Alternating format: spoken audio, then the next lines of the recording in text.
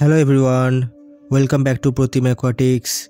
Today we have a topic that's both exciting and educational the stages of guppy pregnancy. If you are proud guppy owner or just curious about the miracle of life in your aquarium, you are in for a treat.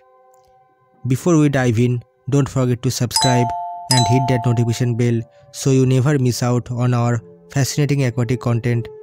Let's get started.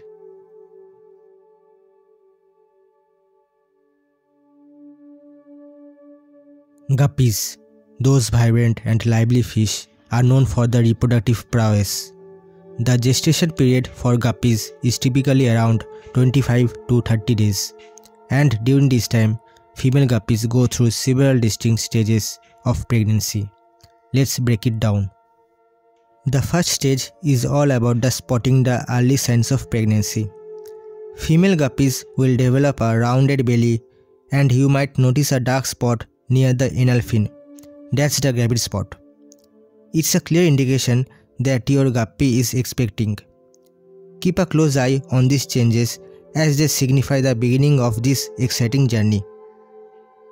As the pregnancy progresses, the gravid spot becomes more prominent.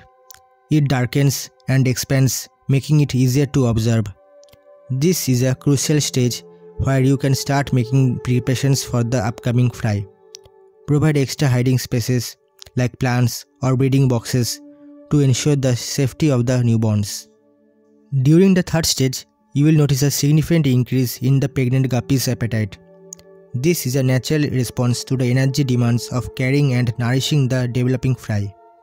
Additionally, you might observe changes in behavior. Some guppies become more reclusive while others may seek out hiding spots.